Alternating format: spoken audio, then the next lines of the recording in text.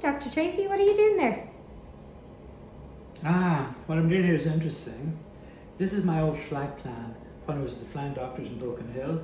And we used to go down to Wilcannia to the hospitals and to Menindee. You know, it was in Australia that I injected my first Botox patient back in 1997.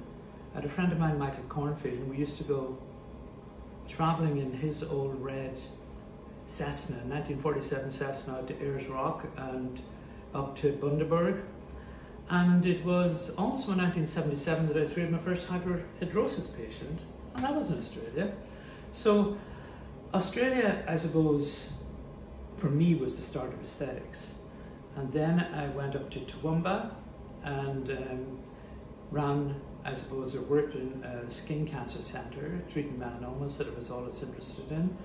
And then I decided to go home and start a whole new direction, the world of aesthetics. I opened the first aesthetics clinic in Ireland in 1997.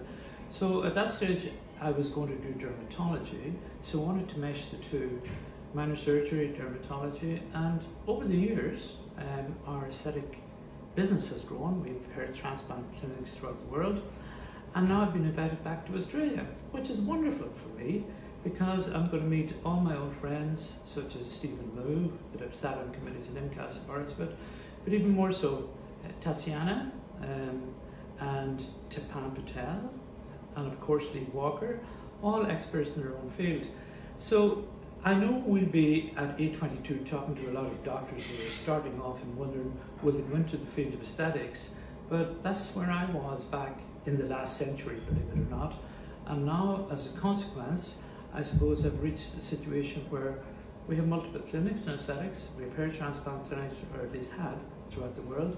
And I recently was voted just before COVID top aesthetic practitioner in the world. So I must have done something right in all those years.